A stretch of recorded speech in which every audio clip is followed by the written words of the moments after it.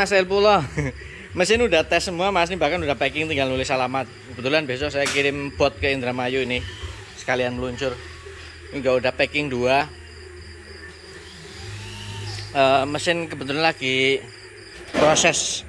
Ini dua juga udah di testing tinggal di packing. Nih. Ini udah dites tinggal packing itu juga. Kemudian yang lain masih proses pembuatan. Jadi mesin stok lagi kosong tapi udah ada yang packing siap kirim sih. Nih. sampai malam mas